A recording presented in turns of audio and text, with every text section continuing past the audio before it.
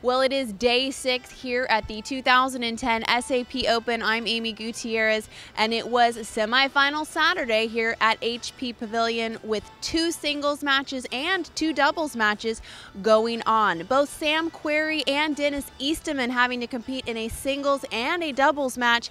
Would fatigue be a factor, and could three-time SAP Open champion Andy Roddick advance to the finals for the fourth time in his nine-year run at this tournament? Tournament.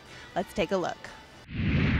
As expected, the first match of the 2010 SAP Open Singles semifinal came down to the wire as dark horse Denis Istomin and impressive Fernando Verdasco fought tooth and nail, each dropping a set to the other. But at 3 all in the third set, Verdasco took control. I played better game. I didn't make a mistake, and he missed like uh, three balls, I think. Another one I did good, so I no, I think two forehands winner and winners, and then he made two mistakes, and I break him. Verdasco, a newcomer to the SAP Open, looks to take home the trophy competing in the finals on Sunday. Verdasco over Istomin, 6-3, 2-6, 6-4. Doubles duo Benjamin Becker and Leonardo Mayer had two pairs of fresh legs, while their opponents Dudi Sela and Denis Istomin only had one. Istomin, defeated by Fernando Verdasco in the single semis, only had an hour before getting back onto the court.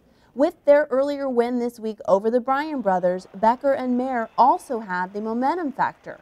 Combine that with 85% of their points won on a first serve, Team Becker and Mayer simply outplayed Istomin and Sela.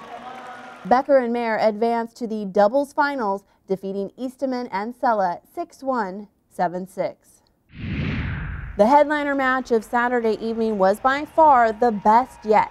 One seed Andy Roddick seeking his fourth San Jose title faced off against fellow countryman Sam Querrey.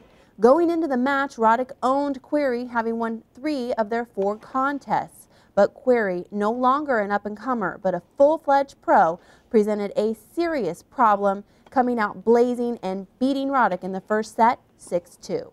Sam came out and played played great. You know, I, I played a, a, an ordinary first game, but from there on out, um, the second break, and obviously he, he served great the whole match. I didn't feel like I had a chance in my return, my first serve return.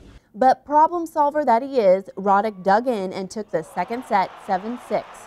53 aces were exchanged between the two, a pure slugfest through three. Roddick prevails, defeating Querrey 2-6, 7-6, 7-6.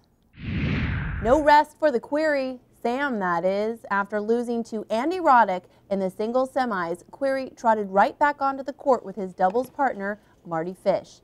The crowd curious if fatigue would plague Sam and if Mardy's knee injury would be a factor as they faced fellow Americans Eric Butorac and Rajeev Ram.